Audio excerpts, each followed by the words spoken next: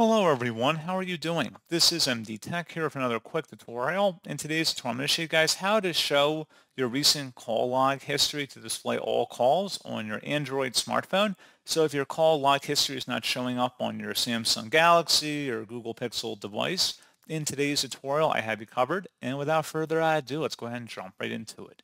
All you have to do is open up the phone app. So you have to swipe up on your home screen. You want to select the phone app. Go ahead and select that.